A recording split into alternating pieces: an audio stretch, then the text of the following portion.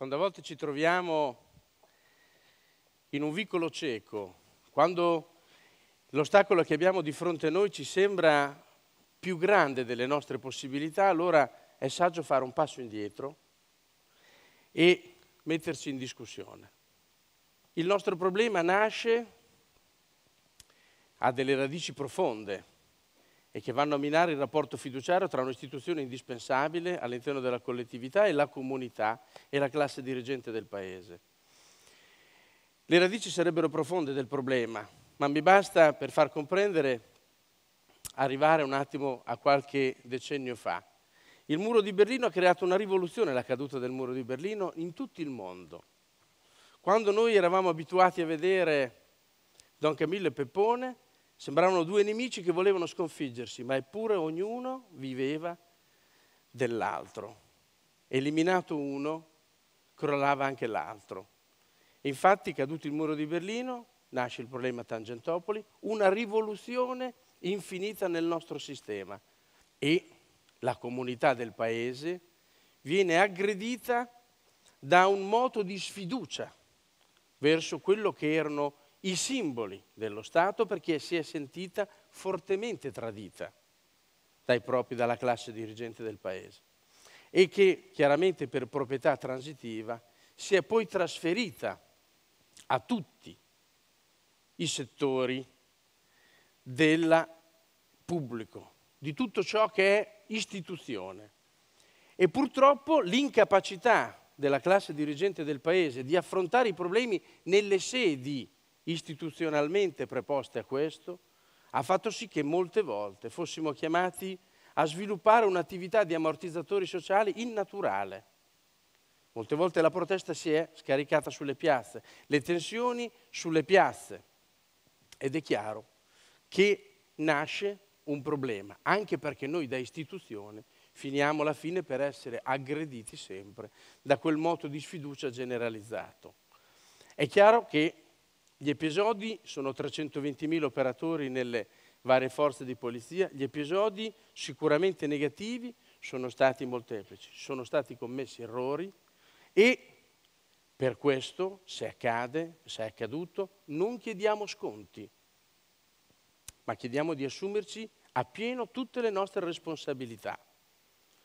Nonostante questo, nonostante questo moto di sfiducia generalizzato, rimangono, rimaniamo dall'80% dei primi anni 90, quindi, ante, quindi nella Prima Repubblica, gli ultimi dati dell'anno scorso Istat ci dicono che le forze dell'ordine sono al 73%, la prima istituzione ancora che merita la fiducia dei cittadini, superiore al capo dello Stato al 65% e la Chiesa Cattolica al 60%.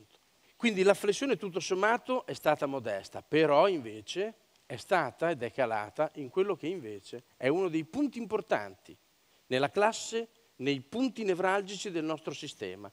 Quindi chiaramente una parte della classe dirigente del Paese, della cultura, del circuito mediatico e della magistratura. E questo ci pone in un, una posizione veramente difficile. Siamo con un dito puntato. E allora come fare? Soprattutto da parte di chi è preposto a salvaguardare la pacifica convivenza. E allora se questa è la nostra missione istituzionale, siamo noi che dobbiamo metterci in discussione e fare un passo indietro. Fare un passo indietro e dire, se qualcuno deve essere messo sotto i raggi X, quelli siamo noi.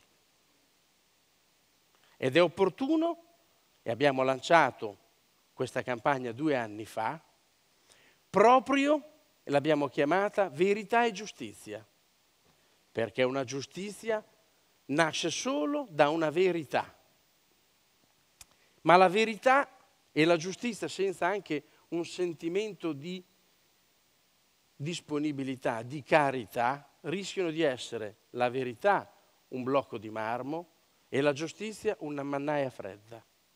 Faccio un esempio banalissimo, tra l'altro prima ancora di entrare in polizia per far comprendere cosa voglio dire. Era la seconda volta che mio padre mi dava l'auto, quindi non sto parlando di eventi tragici.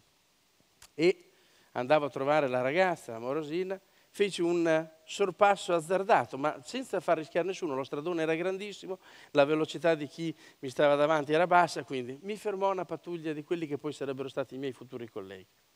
Una persona giovane mi viene e mi contesta la contravvenzione. Io lo guardo sconsolato e gli dico sono uno studente, devo andare da mio padre. È la seconda volta che mi dà la macchina, non me la dà più. Lui si guarda un po' in giro, e mi ridà patente di liberezza e mi manda via. È chiaro che si è assunto una responsabilità, è un omissionato d'ufficio, tra l'altro vuol dire anche un illecito. Però questo vuol dire carità, vuol dire disponibilità. Non si può essere eccessivamente rigidi. Però chiaramente bisogna partire su un terreno di verità, perché il nostro giudizio sul nostro operato deve essere uno, se è stata giusta o sbagliata questo comportamento, non se questo comportamento esisteva o non esisteva. Dobbiamo ragionare sulla verità.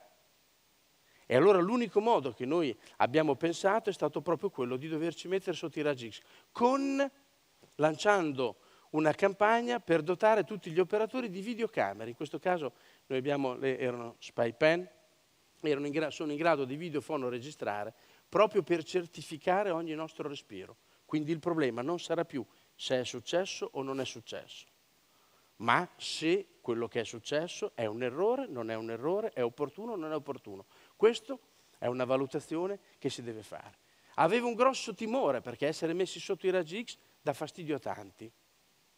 Pensavo sarebbe stata una strada in salita, mentre invece una soddisfazione grandissima mi è nata dall'ambiente interno, dai miei colleghi che si sono dimostrati altamente all'altezza e al ruolo, adeguati al ruolo, perché è stata una scivolata in discesa, è stato proprio una ovazione, una, un moto voglio dire, generalizzato in senso positivo nell'accettare questo tipo di proposta. E la soddisfazione, i dati ci danno, mi è nata anche dal fatto che nello stesso momento una società più avanzata per tutti i settori, da quello molte volte anche sociale, economico, tecnologico, come gli Stati Uniti, avevano a Los Angeles avuto la stessa idea. 600 operatori erano stati nel 2014, considerate che la nostra campagna nasce qui a Bologna, in Piazza Maggiore, nel novembre del 2013, siamo rimasti un mese in piazza facendo finta di raccogliere contributi, ma a noi interessava parlare con la gente e spiegare che la verità era un bene fondamentale per tutti. Ed era importante che un'istituzione come la nostra potesse lavorare senza ombre. In, eh, negli Stati Uniti hanno fatto la sperimentazione e si è dimostrato che, questa è una cosa bellissima, l'87,5% degli episodi critici tra le forze dell'ordine e l'utenza e i cittadini sono venuti meno. Un calo, un crollo, una prevenzione straordinaria.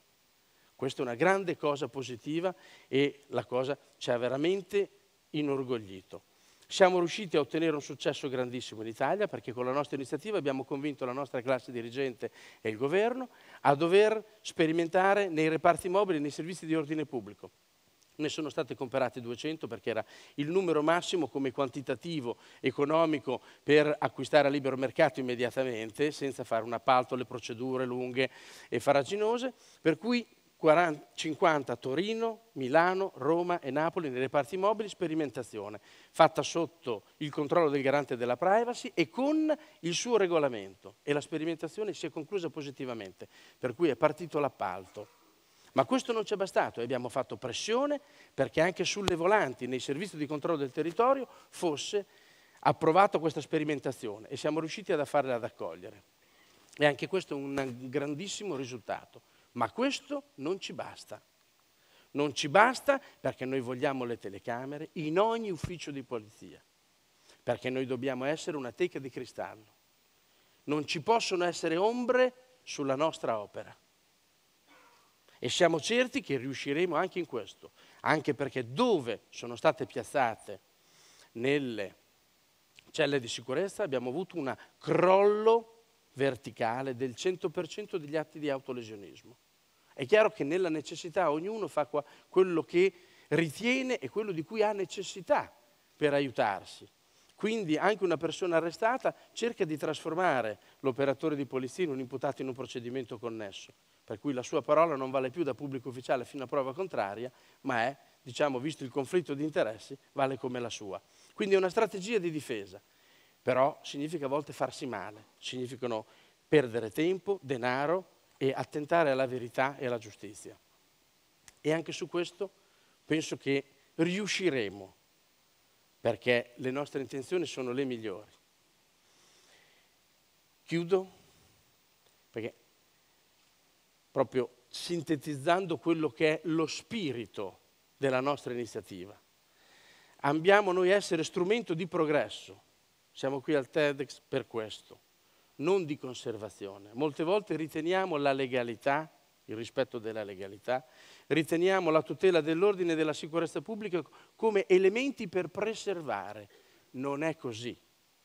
Non è così. In verità questi la legalità, l'ordine e la sicurezza pubblica servono per promuovere concordia e pacifica convivenza, che sono le vere, le vere fondamenta per un progresso materiale e spirituale di una società. Grazie mille.